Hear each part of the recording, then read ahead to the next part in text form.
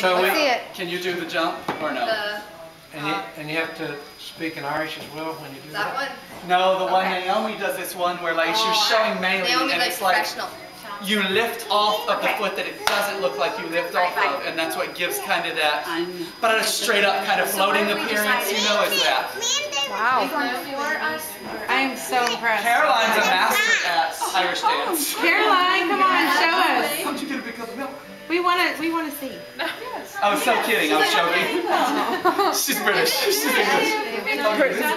It's not against the law for British to do that dance, is there?